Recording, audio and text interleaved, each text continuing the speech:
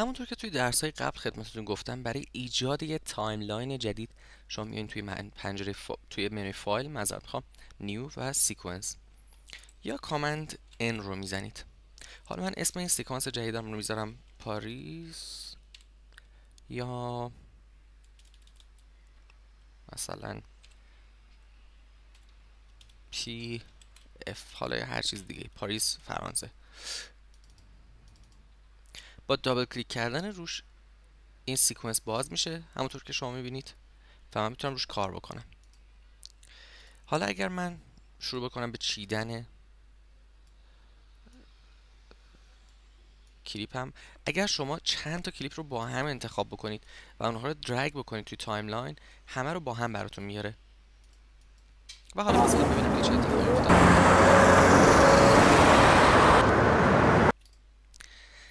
دو تا از مهمترین عنوان های timeline این دو تا آیکون های این بالا هستن. یکی از این عنوان ها که اولیش هست link selection هست. در واقع اگر من اینجا الان کلیپم رو انتخاب بکنم و جابجاش بکنم یا این یکی رو انتخاب بکنم و جابجا کنم همونطور که شما می‌بینید یک فایل صدا هم همراه این تصویر هست. در واقع یه فایل صداست و علاوه فایل تصویرش. که به محض انتخاب کلیپ صداش هم باش انتخاب میشه. یا اگه صدا رو انتخاب بکنم تصویر باش انتخاب میشه.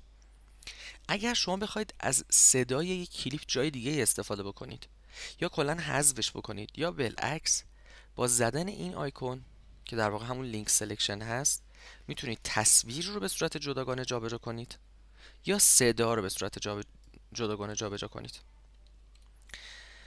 یه عنوانی که اینجا جا داره بهش اشاره بکنم این اتفاقی که شما الان دیدید و فایل های صدا رو من تونستم تک تک جابجا بکنم. فایل های صدای من الان دو تا فایل جدان. اگر من این دوتا رو انتخاب بکنم بیام توی پنجره مادیفای و استریو پیر. همونطور که شما دیدید این گوشه برای من دوتا مثلث سبز ایجاد می‌کنه.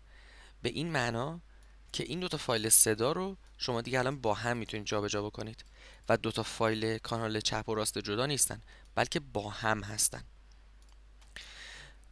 خب اما فرض کنیم که من این کلیپ رو جای دیگه مثلا می‌خوام اینجا استفاده بکنم. حالا همونطور که شما می‌دید یک اختار به من میده. منفی یک مایز 16 روی این صدای من نوشته شده و مثبت یک مایز 16 روی تصویر من.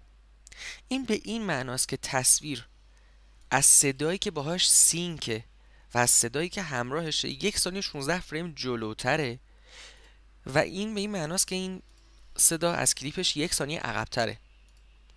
اگر شما از تصمیمتون منصرف شدید در حین تدوینتون همونطور که شما دیدید وقتی من کلیپ رو برگردوندم به سمت عقب عکس اتفاق افتاد.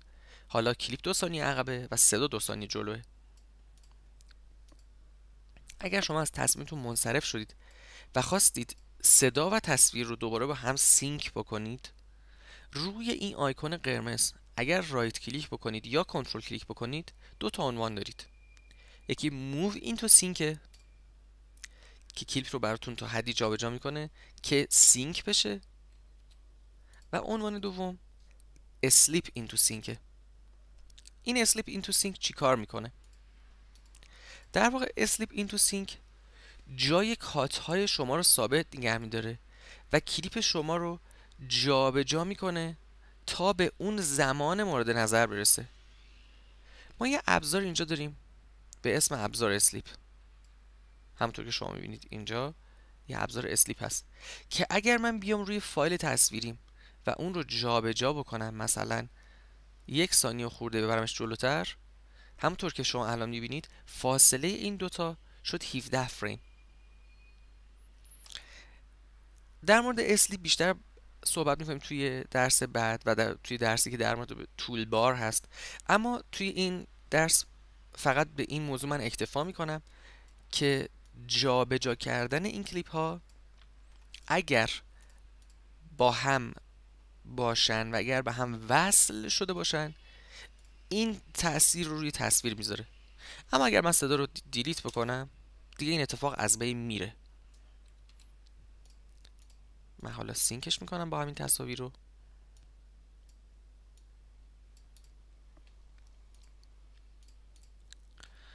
پس این از عنوان link selection عنوان بعدی snap هست.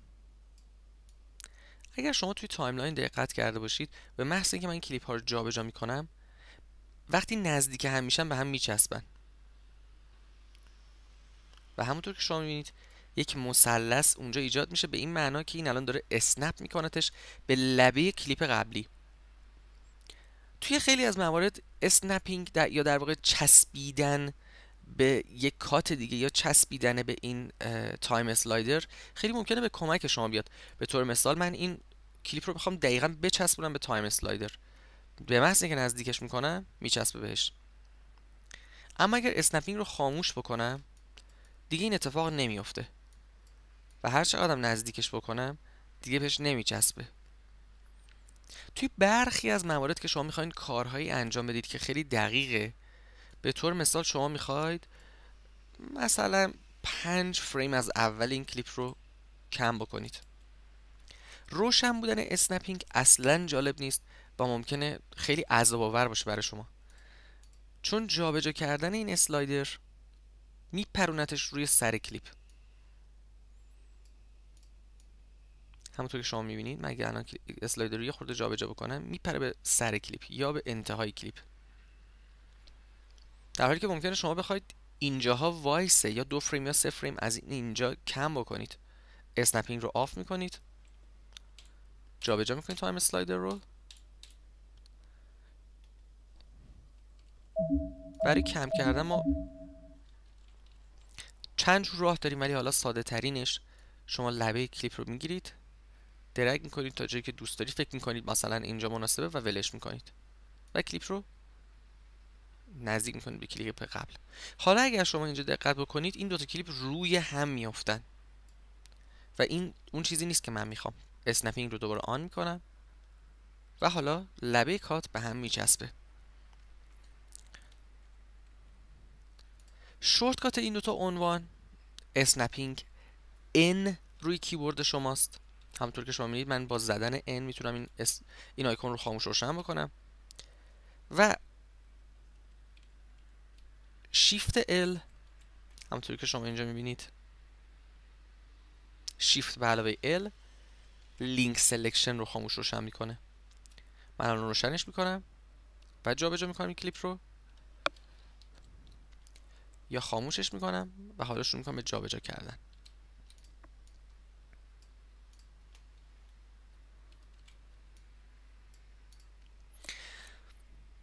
یه توضیح خیلی کوتاهی من در مورد این لینک شدن ها بگم. علل خصوص برای کسایی که کار سینک انجام میدن شاید خیلی مهم و جالب باشه. اگر این دوتا کلیپ رو من بخوام از هم یعنی اگر بخوام صدا و تصویر رو از هم جدا بکنم کافی انتخابشون بکنم. بیام به modify و لینک رو بزنم. همونطور که شما دیدید یک underline اینجا وجود داشت که از بین رفت. حالا این دوتا کلیپ اصلا مستقل از هم هستن. و همونطور که می‌بینید اون نوشته قرمز البته الان چون overlap کردن نوشته دوباره اومد. ولی اگر overlap نکنن همدیگه رو و روی همدیگه نباشن می‌تونن مستقل از هم کاملا عمل بکنن و دیگه شما نیازی به این خاموش روشن کردن ندارید. فرضا اگر شما بخواید صداتون رو با این sync بکنید بدون اینکه این آیکون رو خاموش رو روشن بکنید می‌تونید کلیپاتون کلیپ های صداتون رو انتخاب بکنید فایل های صداتون رو و بیایید و با این به طور مثال sync ش بکنید.